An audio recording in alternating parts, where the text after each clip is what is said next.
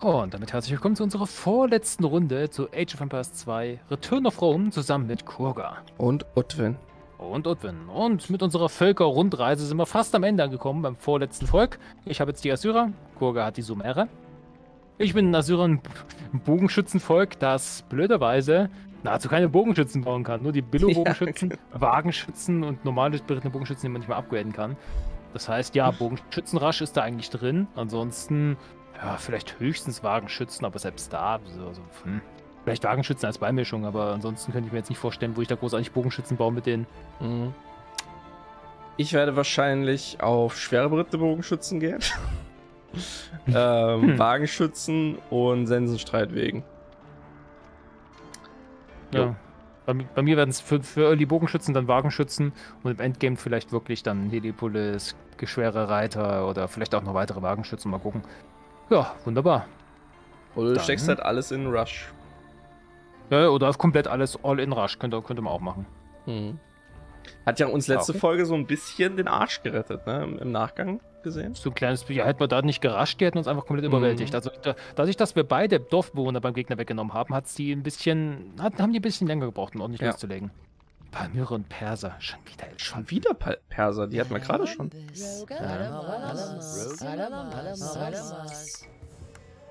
Oh, perfekt, ich habe mein Wild direkt gefunden, das ist super.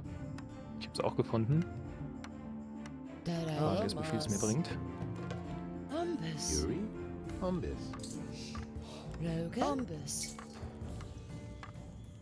Ah, jetzt hat sich das Wild verteilt, natürlich, Alter ist so ein so ein Dorfbewohner durchgelaufen, die rennen alle weg. Hm. Aisa. Aisa. Einfach nur am Paniken. Mhm. Ich schicke dann, es hat sich jetzt bei mir so ein bisschen eingebürgert. Ich schicke immer drei auf dann auf das Wild, drei auf Bären und die nächsten drei auf äh, Holz. Das hat eigentlich das ganz auch keine schlechte Idee. geklappt bis jetzt. Habe ich sechs auf Nahrung und dann drei auf Holz und dann verteile ich immer so nach Bauchgefühl.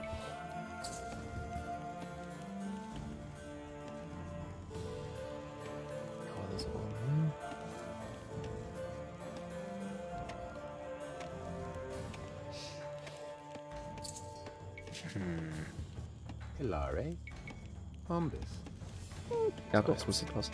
Nee, passt nicht. Egal, Mann. Anyway. Ich bin Haus, du bin. Ungeil. Mhm.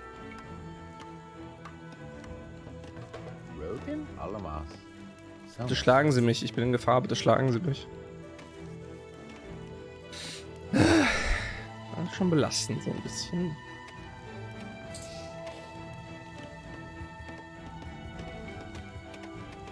Okay, hm. jetzt habe ich vier auf Holz, fünf auf Nahrung. Mal gucken. Ich habe jetzt gerade nur zwei auf Holz, weil das fürs erste vorerst noch reicht und Nahrung eher die Engstelle ist, aber ah, ich merke, dass das alles ein bisschen eng ist. aber das mag man ja hier und da. Hör auf, zwei durchzudenken.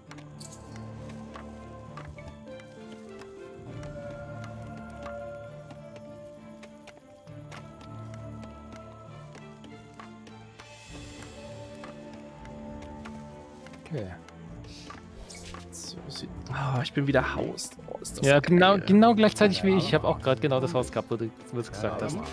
Ah, hab leider kurz vergessen.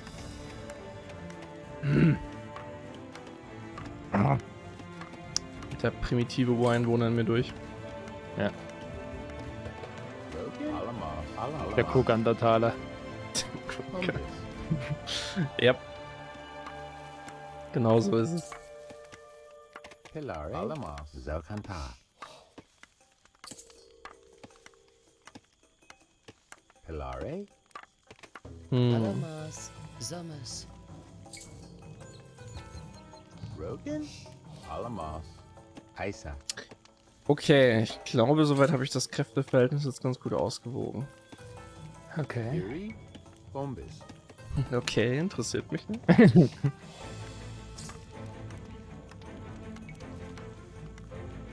Achtung, Achtung, der, der, der Rain Train fährt ein.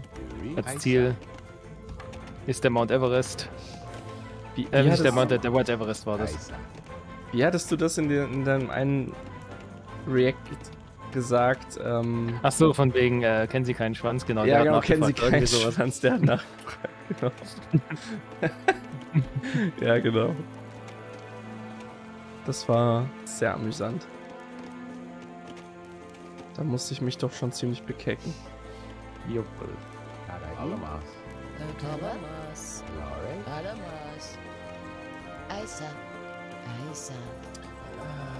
Das mich 14 auf Nahrung. Das sollte jetzt eigentlich mal lang hier. Das mit der Nahrung ist echt übel, dass ich das einfach nicht hinbekomme, da halbwegs schnell mal zu tacken. Ich meine, ich will die ganze Zeit aufbauen, aus ich habe ewig viel auf Nahrung, aber irgendwie kriege ich nicht 500.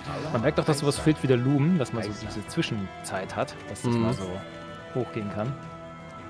Und man fühlt sich immer schlecht, wenn man idelt. Ich habe jetzt 16 auf Nahrung und nur 350 Nahrung und habe jetzt aber schon 20 Villager. Ich brauche jetzt noch 100. Ich warte jetzt noch ganz kurz.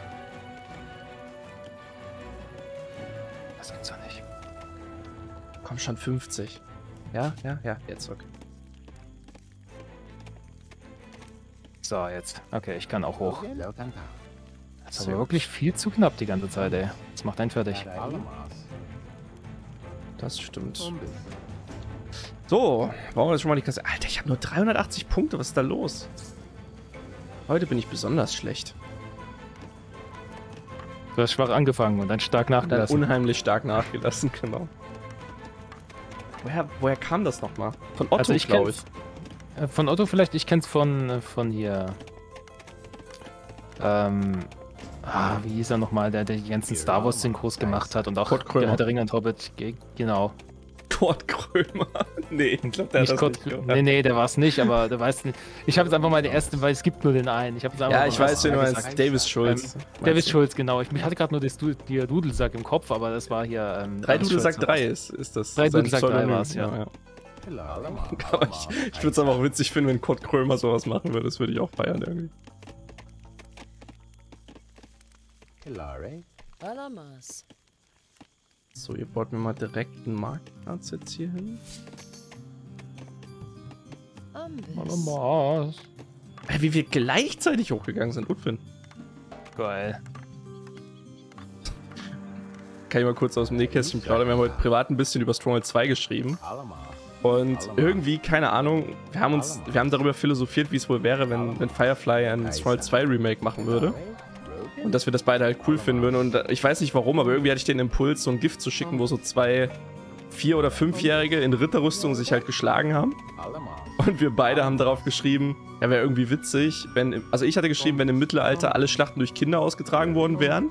Und Ulfin hatte irgendwie geschrieben, wenn Firefly einfach ein Stronghold 2 Remake Mod machen würde, wo alle Soldaten Kinder sind.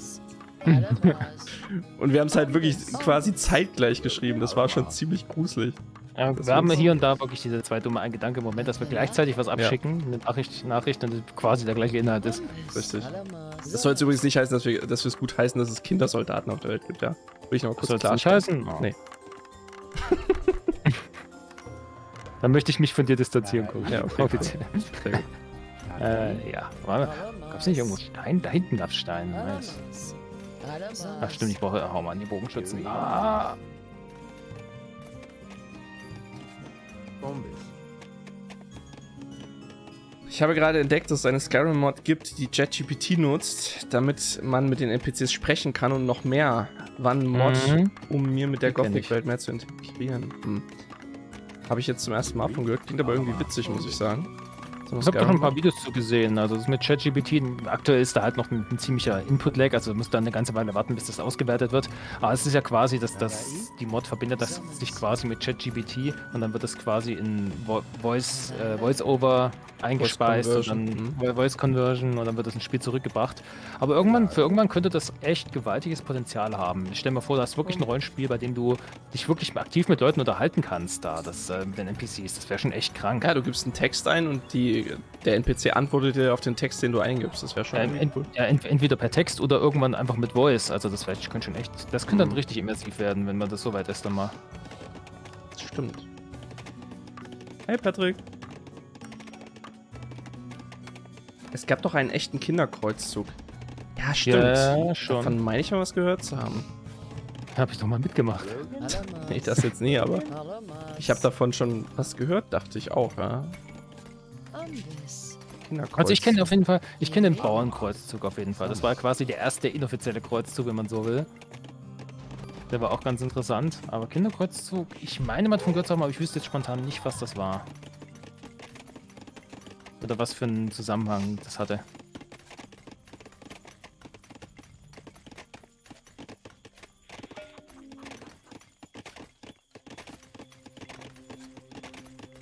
Der Kinderkreuzzug ist aber gescheitert. Wow, was für ein Wunder. Was? Verstehe gar nicht warum.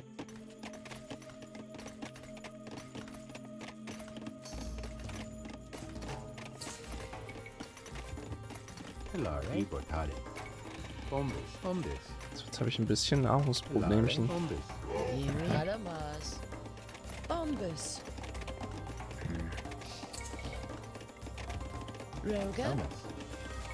Bombus, Bombus.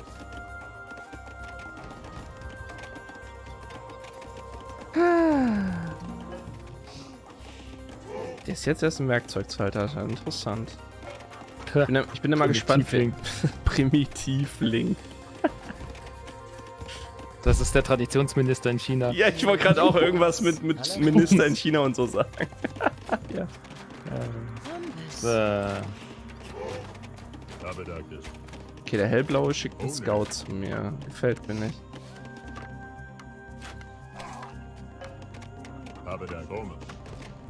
Okay, interessant. Der Kinderkreuzzug soll laut verschiedener mündlicher Überlieferungen ein Ereignis gewesen sein, in dem sich im Frühsommer 1212 tausende Kinder, Jugendliche und Erwachsene aus Deutschland und aus Frankreich veranlasst sahen, unter der Leitung visionärer Knaben in einem unbewaffneten Kreuzzug ins Heilige Land zu ziehen. Der Zug hatte sich teilweise schon vor Erreichen der Ufer des italienischen Mittelmeers aufgelöst. Okay, interessant.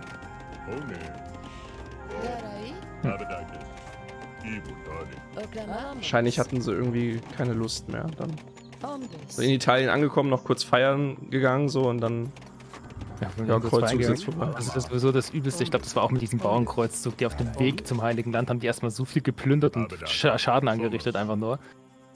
Wir haben einfach mehr, mehr Schaden in den christlichen Gebieten angerichtet, als, als dann dort, wo sie angekommen sind. Aber gleichzeitig hat das dazu geführt, dass dann ähm, die ganzen muslimischen Staaten die, die Europäer extrem unterschätzt haben, weil sie diesen Bau Bauernkreuzzug gesehen haben. Und beim ersten richtigen Kreuzzug dachten sie, ja, pff, was wollen die bitte schon ausrichten? Und dann ging es ein bisschen ab. killen sich ja eh nur gegenseitig, die Dürordel. So, ich bin jetzt beim hellblauen. Ich bin beim Dunkelblauen. Und der hat auch ziemlich viele Archer vorbereitet, was mich etwas beunruhigt. Irgendwie, wenn du dir ziemlich verarscht vorkommst. Oh mein Gott. Nee, für, nee nicht, mal, nicht mal für deine Verhältnisse. Oh, Wobei doch, der war schon ziemlich gut, muss ich sagen. wunderbar. Ich war schon fast enttäuscht über deine Enttäuschung. Hm, Ich bin heute sehr über meine Technik enttäuscht, hier muss ich sagen. Oh shit. Hm, Nein, bitte nicht. Alamas. Umbus. Oh, nee, nee, nee. Oh, kann sein. Ne? irgendwie? Kann sein, dass ich Hilfe brauche gleich. Okay. Ich guck mal, ob ich das irgendwie unter Kontrolle kriege hier.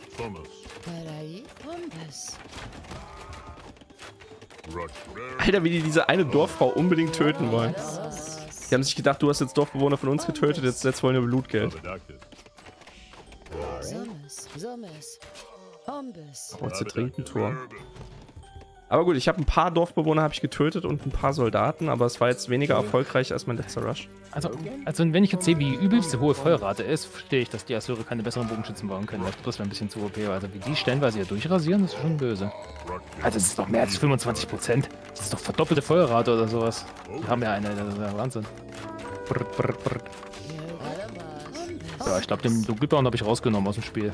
Aber der hat auch irgendwie bis jetzt nichts gemacht. Ich glaube, der wollte wirklich so Fast Castle machen oder sowas. Also Fast Werkzeug oder so. Fast Werkzeug. Oh shit, der Hellblaue. Ich, ich könnte jetzt mal deine Hilfe brauchen, glaube ich. Der. Hellblaue hat hier einfach 20 Bogenschütze jetzt bei mir. Der eine Turm, den ich gebaut habe, der wird mich jetzt nicht retten können. Ich schicke gleich was in deine Richtung. Bitte.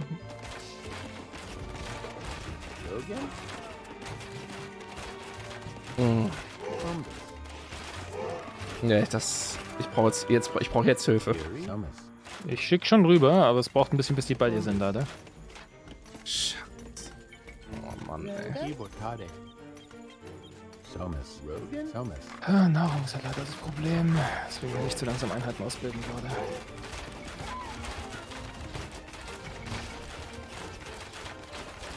Yuri.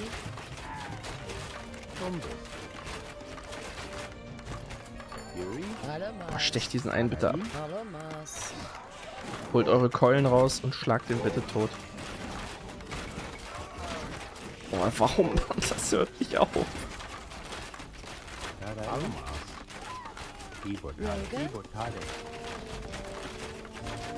Mhm.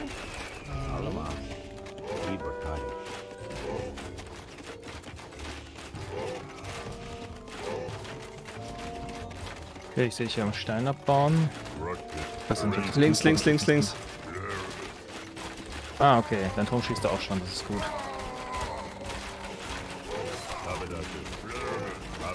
Jetzt ein bisschen die Turmdeckung bei dir. Ja, das ist auch gut. Hier stehen ziemlich viele im Turm.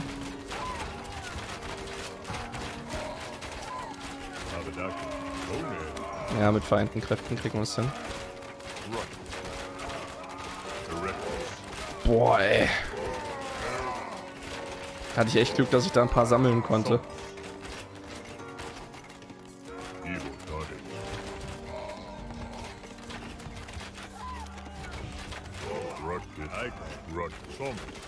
Boah, danke für deine Hilfe auf jeden Fall.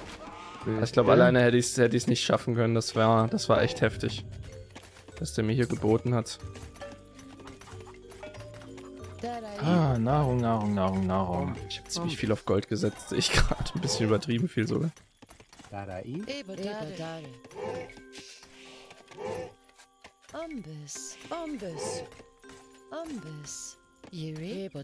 Also ich glaube, der dunkelblaue ist raus, wenn alles richtig gut funktioniert hat. Ich muss nochmal überprüfen, ob nicht noch irgendwo Dorfbewohner übrig sind, aber sein Dorfzentrum ist weg, die meisten Dorfbewohner sind weg. Perser war der. Warum, können die, haben die Perser gute, Bo bessere Bogenschützen irgendwie vielleicht? Nicht wirklich, aber er hat einfach nur einen Bogenschützenrasch gemacht, glaube ich.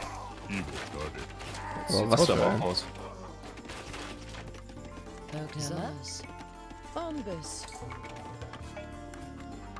Jetzt habe ich, ich hab übel viele Steine jetzt abgebaut, um schnell panikmäßig ein paar Türme zu bauen. Ich habe schon gesehen, dein Steinerbaugebiet da. Das war wirklich einfach nur Panik. Ja, danke für deine Hilfe auf jeden Fall. Das war Umbus. ganz großes Kino von dir. Ah, das ist jetzt auch zur Bronzezeit. Mhm.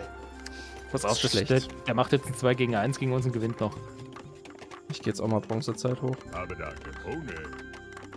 Ich mache ich auch. Ah, nicht stimmt. Bronze. Bronzezeit ist das dritte. Was war denn dann das Werkzeug? War- Irgendwie ist das total verwirrend. Der ist Eisenzeit ist vierte. Eisenzeit ist. Was war denn dann Werkzeugzeitalter? Das zweite. Das war. Achso, okay. Werkzeug ist das, in dem wir jetzt gerade sind. Ah, okay. Und der hellblaue ist jetzt äh, ins, ein, ins Bronzezeitalter hoch. Oklahoma. Umbus. Rogan. Umbus.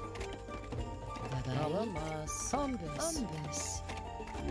Ich glaube, der Dunkelblau hat wirklich nichts mehr, auch keine Dorfbewohner mehr, außer der hat sich bei seinem Verbündeten neu aufgebaut. Aber er gibt trotzdem nicht auf, das ist ganz interessant. Ja, das traut. Oh nein, jetzt kommt ja schon mit schwerer Kavallerie der Perser bei mir.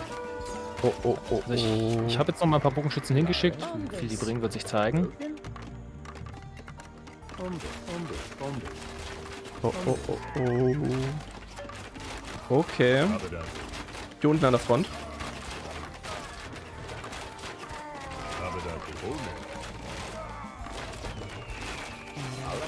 Glück konnte ich da jetzt nochmal Türme bauen. Okay, ein paar Steuerdorf sind dabei, aber das geht noch.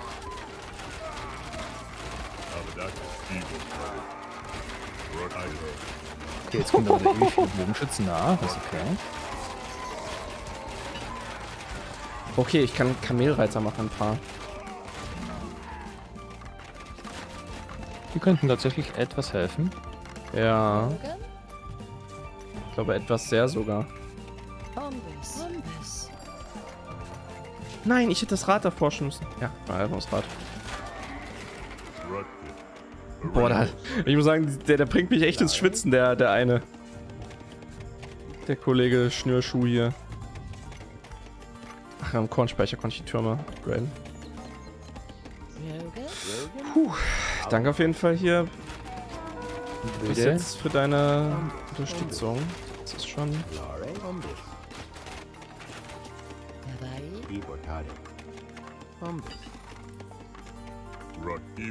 Kamelreiter werden mir jetzt hier auf jeden Fall helfen. Ich mach dann einfach schwere gepanzerte Reiter oder sowas. Und für den Plan seiner nächsten Kriegsverbrechen. Ja, will alles gekonnt sein. Ah, ich brauche das Regierungsgebäude zuerst. Summers.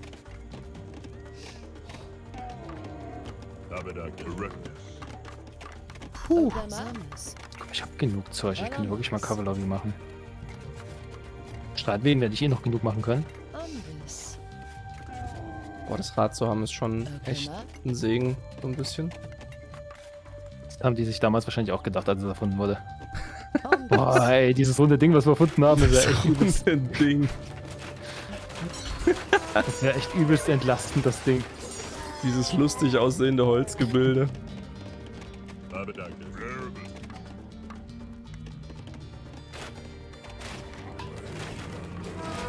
Okay, okay. Okay, okay. Ja.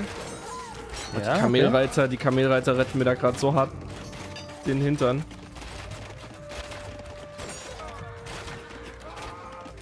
Nicht nur gegen die schweren Reiter, sondern auch gegen die Bogenschützen teilweise. Ich glaube, der. Doppelblau ist halt wirklich raus. Das ist gut, aber ich lasse trotzdem noch die Big Paar. Was dazu da drüben, dass die passen. Sehr schön. Zurück, zurück, zurück. Die sollen ruhig in meine Türme reinlaufen.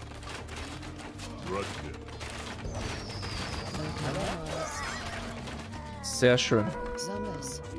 Summers.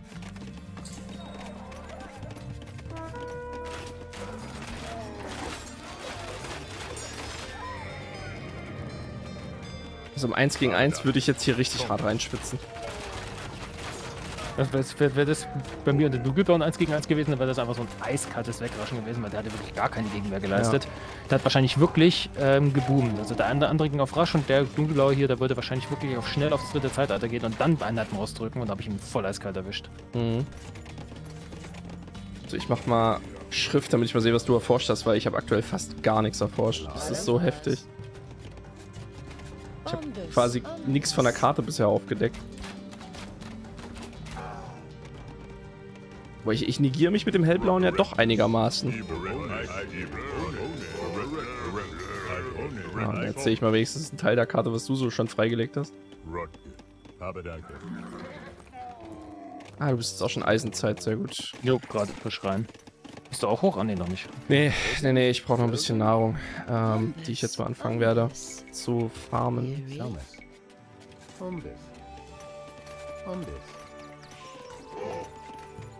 Ah, nee.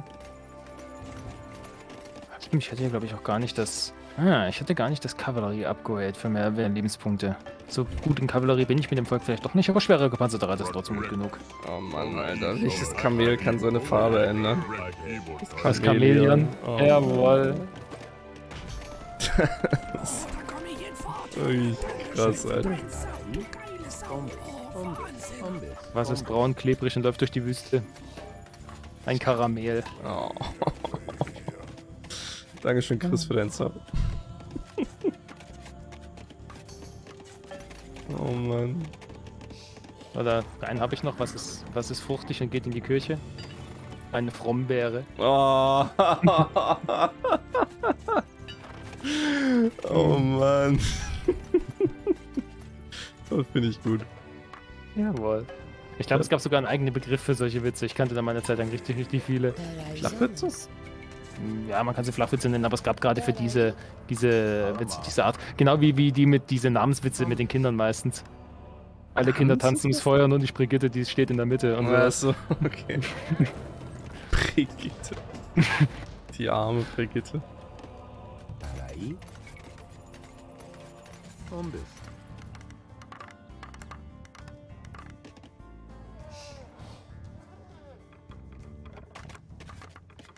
Ach ja. Alamas.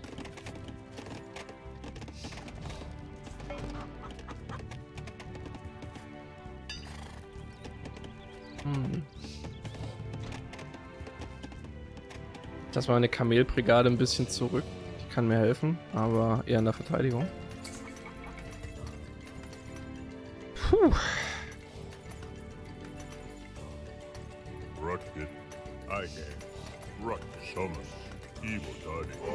Ich bin jetzt einigermaßen safe hier. Du kannst deine Bogenschützen gerne abziehen hier bei mir. Alles klar. Ich glaube, wenn der Gegner das hart angreifen würde, würden die auch nicht mehr so viel bringen jetzt. Nee, ich glaube auch. Wo ist denn ein Marktplatz? Ähm, ganz da oben. Ah ja, perfekt. Oh nein. Ich habe das äh, Felder Aussee Geräusch gehört. Das ist äh, ein Problemchen. So, was brauche ich jetzt noch, um, um ins nächste Zeitalter zu gehen? Irgendein zweites Gebäude. Ach so, ich habe den Tempel nicht gebaut.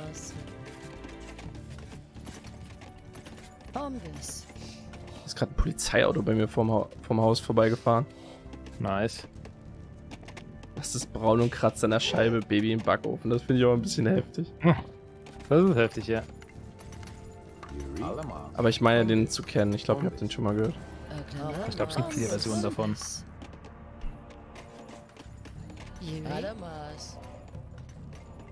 Nein, ich kann echt keine Mauern bauen. Krass.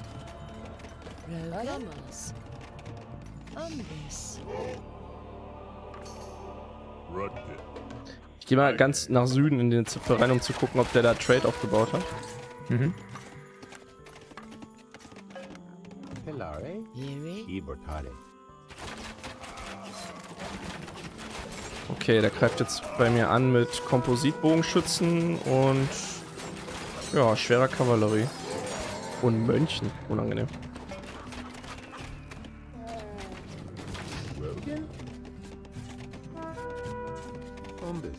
Er hat jetzt aber, ja, das ist auch schon viel das Zeitalter, interessant. Hm, der hellblaue ist ziemlich viele Kompositbogenschützen hat der am Start. Und Elefanten, ja gut, ist ja Perser. Das ist gerade entfanden, ne? das ist natürlich uncool. Ich habe es versäumt, irgendwie schnell eine Mauer zu bauen. Das hole ich mal nach. Umbis.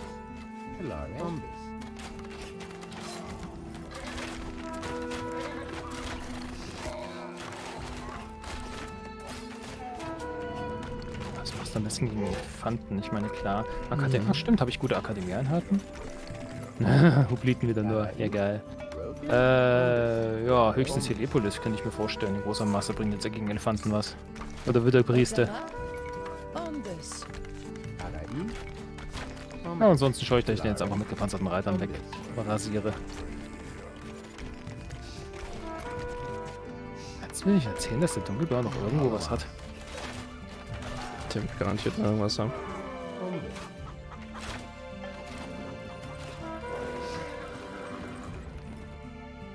Ah, du hast da, sehr gut, du hast da einige schwere Panzerreiter, das ist gut. Mhm. Das stimmt mich froh.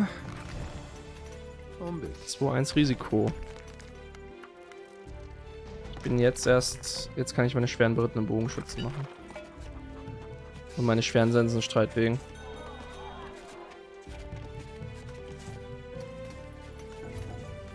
Oklahoma. Und meine nächsten Mauern vor allem. Umbis. Nein, oh mein Gott. Umbis.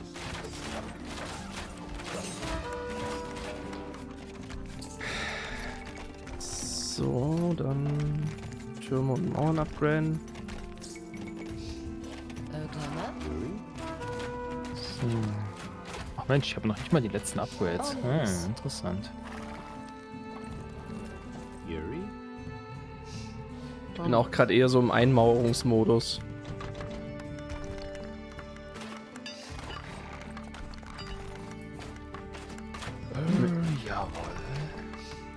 Ich habe 33 auf Nahrung und mir fehlt übel Nahrung. Das ist Wahnsinn.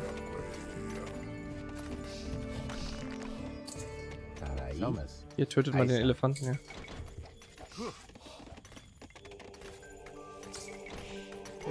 Lauren. Zokanta. Bombus. Bombus. Bombus.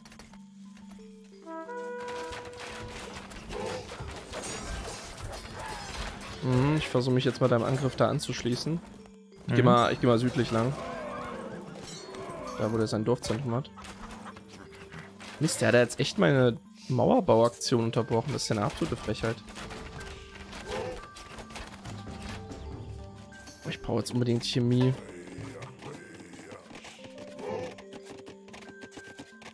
Europa zur Zeit des Spätmittelalters. Hm, immer. Immer. Also, ach, diese Alchemie, damit kommen wir, glaube ich, nicht weit. Alter, wie du hier schon auch den Hellblauen jetzt wegstompst mit deinen Reitern, ist ja Wahnsinn. Ich habe jetzt ein bisschen das Tech-Game gespielt und geschaut, dass ich dann einen Vorsprung krieg. Ah, mal, jetzt, die Elefanten waren ein bisschen uncool. Ah, jetzt. Der Dunkelblaue mal, hat hier Ach, Tatsache, aber der ist ein Dorfzentrum gebaut, davon. und Dorfzentrum. Echt krass. Ja, lang genug Zeit, er hat sich irgendwann wieder gefangen. Das ist unglaublich.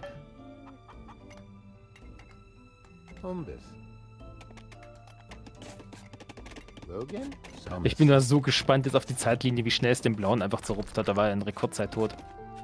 So eine richtige Spitzer-KI. Logan. Aber das waren die, die beiden beim letzten Mal, ey. Die, die wollten so richtig, die wollten es richtig wissen. Die wollten richtig reinschwitzen. Bombus. Yuri. Alamas. Bombus. Nadai. Labai. Ich hab jetzt nochmal richtig Bock, einen auf Walter Ulbricht zu machen.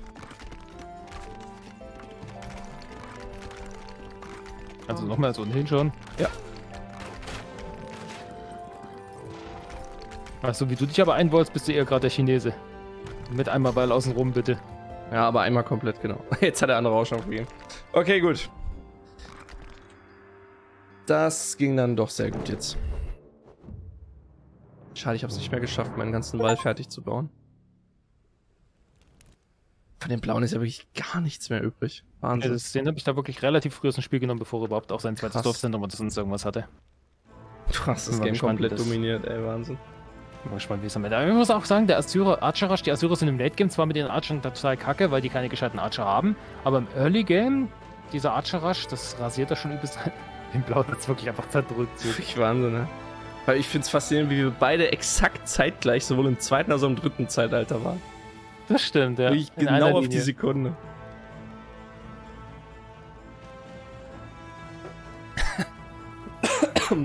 Auch so viel später wieder, also ganz ehrlich, der hat keine großartigen Einheiten ausgebildet und ist viel später rein. Ich wette, der wollte so ein fast drittes Zeitalter machen Mhm. und war ganz kurz davor, die Einheiten rauszudrücken, als ich ihn überrascht habe. Hast du von dem Tennisspieler gehört, der aus dem Fenster gefallen ist? Oh mein Gott, was kommt jetzt? War sein bisher härtester Aufschlag. Okay. Gut, nice. Das ist schon schmerzhaft. So, danke fürs Zusehen. Danke fürs Zusehen und bis zum letzten, bis zur letzten Folge jetzt von unserem Sith Overview. Danach gibt es, glaube ich, vielleicht noch ein Special oder sowas. Gucken wir einfach mal. Wir hatten ja ein bisschen was im, im Sinn. Hm. Und ja, dann bis zum nächsten Mal. Bye bye.